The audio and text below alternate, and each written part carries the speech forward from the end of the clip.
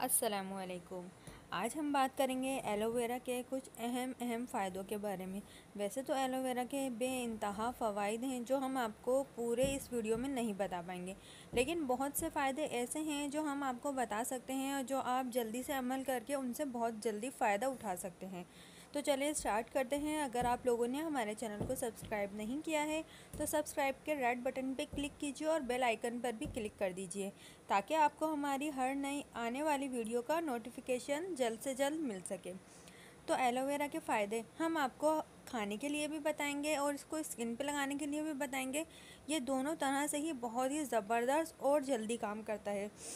अगर आपके जोड़ों में दर्द है और आपके घुटनों में दर्द है या आपको एक बीमारी होती है कि आपको हड्डियों का भुरभुरापन हो रहा है, आपकी हड्डियाँ झड़ रही हैं, बहुत जल्दी उनका गूदा कम हो रहा है, जो इसका, जिसका इलाज बहुत ही महँगा होता है लेकिन अगर आप एलोवेरा खाना शुरू कर दें तो इन आपको एक महीने में उसके रिज़ल्ट्स बहुत ही ज़बरदस्त मिलेंगे।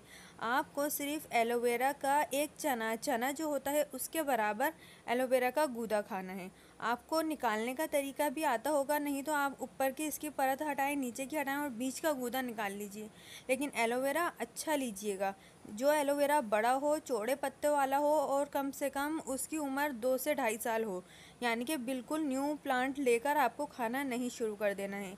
ये जितना पुराना होता है, इसके फ़ायदे इतने ही ज़्यादा होते हैं।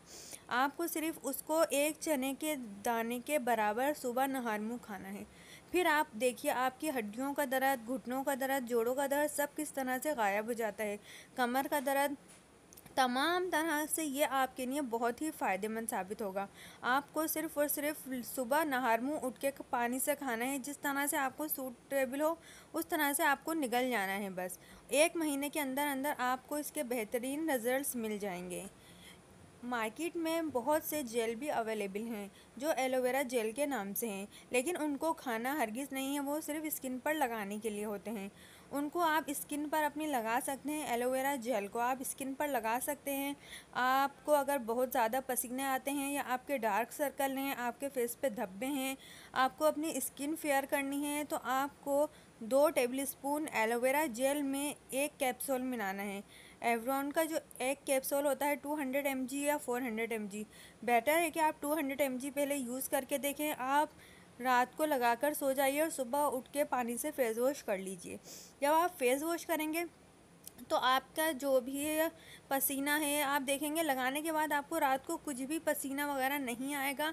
अगर आपको मेकअप के बाद भी पसीना आता है तो आप अपने मेकअप फाउंडेशन में थोड़ा सा एलोवेरा जेल मिक्स कर लीजिए। जब आप एलोवेरा जेल मिक्स करके अपना मेकअप करेंगे तो वो मेकअप वाटरप्रूफ भी होगा और उसके बहुत ही ज़बरदस्त आपको इसके नतज मिलेंगे। आप यकीन नहीं करेंगे कि आपको मेकअप करने के बाद भी पसीना नहीं आएगा। बहुत सी लेडीज़ को ये प्रॉब्लम होती है कि मेकअप जैसे ही करते हैं, वैसे ही पसीना आना शुरू हो जाता है। या उसके लिए भी बहुत ही ज़बरदस्त है। आप लोग इसको फेस पे भी लगा सकते हैं और खा भी सकते हैं। आप इसको दोनों तरह से इस्तेमाल करिएगा और आपके जो भी फ़ायदे हों, जो भी आपको फ़ायदा हो, हमें ज़रूर कमेंट बॉक्स में शेयर करिएगा।